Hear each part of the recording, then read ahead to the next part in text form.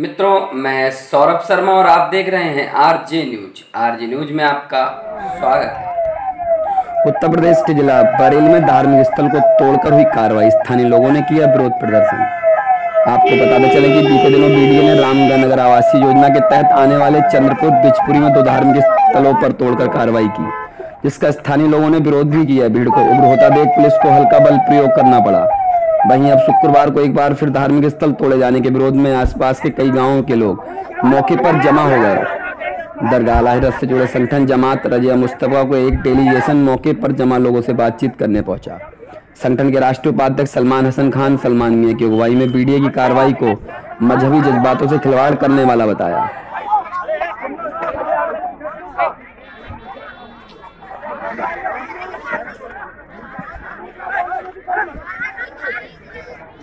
Yeah.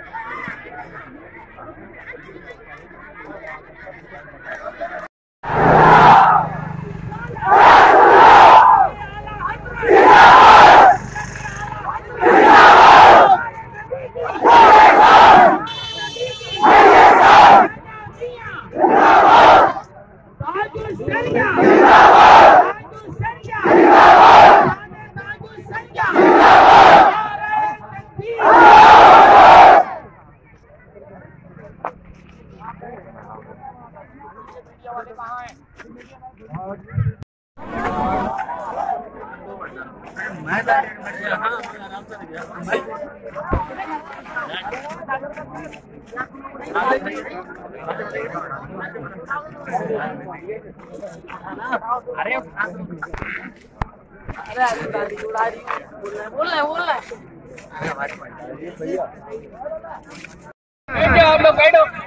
एक मरतबा नारा लगाया, नारा लगाते हुए सब लोग बैठे नारे तकबीर नारे तकबीर नारे रिसालत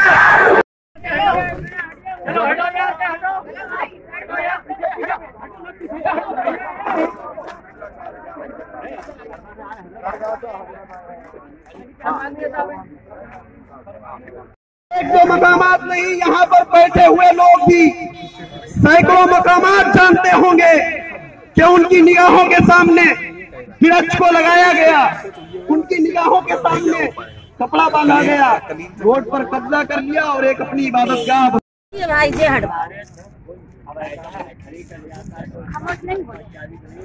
आदमी नहीं है, कोई कहीं बात कोई मुकदस बंदा जहाँ पर अल्लाह वाले जलवा अफरोज हुआ करते हैं, किसी नाले पर डॉक्टर मेहंदी हसन, दरगाह आला हज़रत की एक जमात है, जमात रजा मुस्तफ़ा, जो 103 साल पुरानी जमात है। उस जमात रजा मुस्तफ़ा के हमारे नेशनल वाइस प्रेसिडेंट जनाब सलमान हसन कादरी साहब, जो दरगाह आला हज़रत से यहाँ पर एक डेलीगेशन लेकर आए हैं, उनके साथ में दूसरे हमारे सलमान हसन साहब के छोटे भाई फरमाद हसन साहब, शमीर सुल्तानी साहब, हाफिज इकराम साहब और तमाम डेलीगेशन के लोग हम लोग यहाँ पर आए हैं।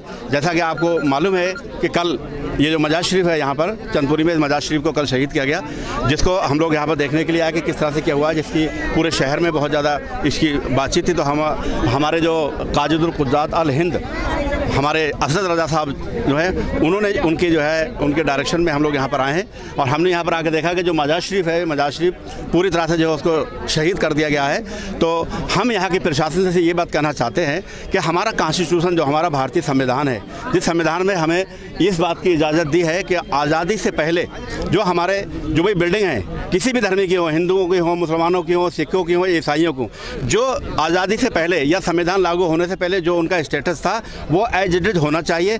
हम प्रशासन सिर्फ़ यही मांग करते हैं कि अभी हमने जब देखा वहाँ पर तो जो ईंटें वहाँ पर पाई गई, वो ईंटों में उन्नीस सौ उनचास डेट पड़ी हुई है। उन्नीस सौ उनचास है, पचास के आसपास बन गया होगा। हमारा संविधान सन 1950 को छब्बीस जनवरी में लागू हुआ उससे पहले का ये मजार शरीफ बना हुआ है।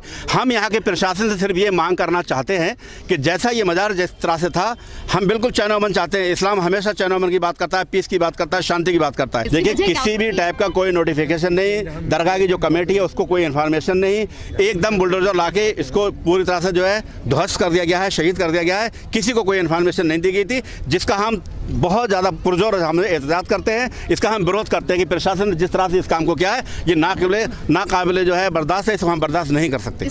जहाँ शिक्षा एक जुनून है एजुकेशन इज़ अ पैशन